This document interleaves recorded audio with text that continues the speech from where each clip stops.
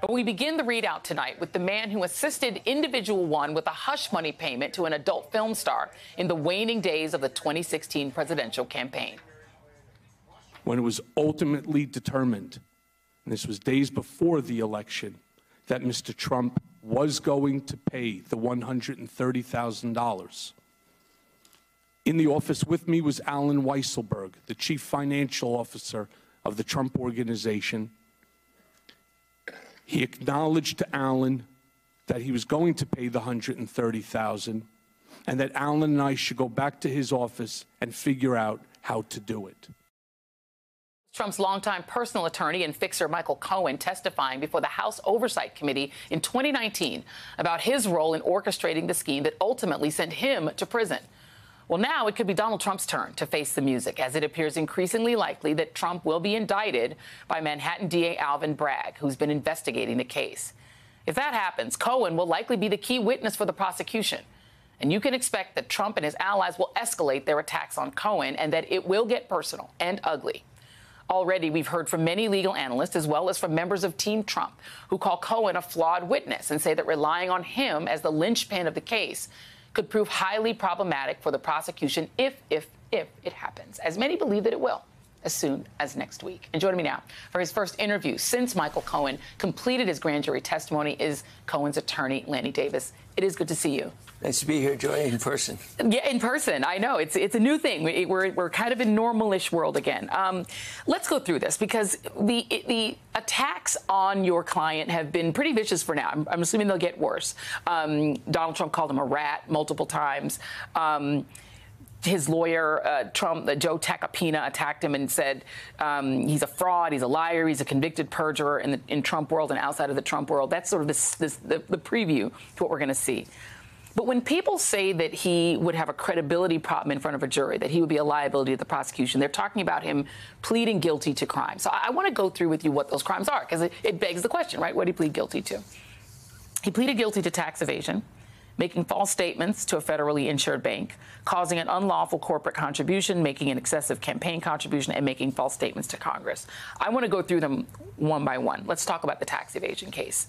Um, did he, he, he pleaded guilty to it, so he did it. So uh, he pled guilty uh, when he was coerced on a Friday afternoon. His lawyer told him that on Monday he would be indicted with his wife on this completely concocted and baseless tax claim, as well as all the other counts. And he wouldn't have an opportunity to meet with the prosecutor. So they gave him from a Friday afternoon to Monday to decide whether to plead guilty. So the guilty plea on that issue was coerced, mm-hmm. and I can prove to you that there was no even slight evidence of a tax fraud. What's claim. the proof of that? Well, let's start with the fact that H&R Block, we all know, is an expert on tax. One out of 150 million people in the last year that this was uh, done by H&R Block uh, are criminally prosecuted. Uh, most people in the millions of dollars of not paying taxes are treated in civil. There was literally nothing that the prosecution presented as evidence of tax criminal fraud. If in $1.3 million is the amount of money, tens of millions of dollars have been settled civilly, is all that was alleged against Michael. And that was spread over five years and created five counts. So there was something about the prosecution case that was so concocted that had he gotten his day in court, it probably uh, would have been dismissed before he ever had a trial. Right. Let's go on to this this question of this HELOC that he took a, a this HELOC. Is the silliest one of all. Okay, we're going to go into it. So this is him using a HELOC. For those who don't know, it's essentially use the equity in your own home, to sort of borrow from yourself, and he used that money um, to pay Stormy Daniels this hundred thirty thousand so dollars. This is why the Cook uh, case of the Southern District, we were told by Geoffrey Berman, the U.S. Attorney, that he got a phone call from Trump's Attorney General interfering in the Cohen case. So there's something wrong here. When you take your own money, you draw down $130,000 at Donald Trump's instruction, which is what the Southern District published in a filing he instructed Michael to pay that $130,000 to avoid the Stormy Daniels affair coming out, alleged affair, right before the election for political reasons. That's what the federal prosecutor said. Now they're saying $130,000 with $8 million of equity in his apartment. That's his money. And he drew down $130,000 because Trump didn't want to be involved or have any connection. He wanted, he wanted a separation from the How in, is it possible that $130,000 with $8 million of equity behind it could possibly be a crime? Now, they're claiming that the, the lie to the bank is about the valuation, about how much equity he really had. Actually, they're not claiming that. They're claiming that he had written down a somewhat mistaken assessment of uh, assets in another venue. But yeah. banks don't care about what you write down on a bank statement. If yeah. you've got equity and if you don't pay back your own money, they don't care either, but they've right. got the equity. It's a completely absurd and is never, it would be dismissed had it ever gone to trial. But as I said, they said to him on a Friday afternoon through his lawyer, refused to meet with him we're going to charge you with a 78 page or 80 page indictment on Monday morning, and we're going to indict your wife.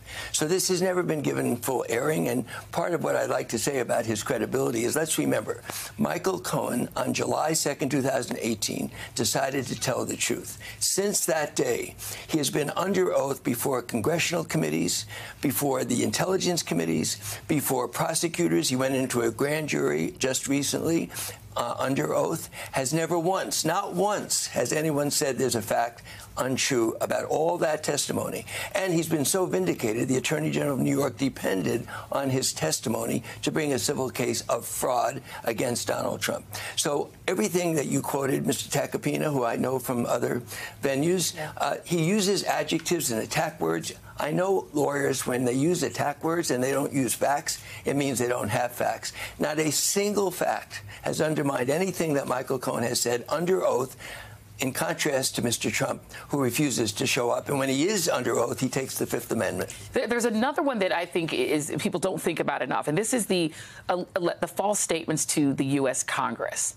Now, those were not about uh, Stormy Daniels, right? Those were actually about a, a, a, a, Trump Tower or, or Trump. Uh, again, explain that. Facts get in the way of rhetoric. Yeah. A false statement to Congress is a serious crime. Yeah. Number one, he was directed to make those false statements by Donald Trump. And what were they about? They were it about. Was, this is the uh, absurdity of uh, the uh, assertion that it's a crime. Yeah. So he was having conversations, negotiations about building Trump Tower in Moscow. Right. Trump said to him, "I don't want you to say that during the campaign. I want you to lie and say there are no discussions, even while there were discussions." So Michael said there were three discussions rather than ten. Now let me repeat that.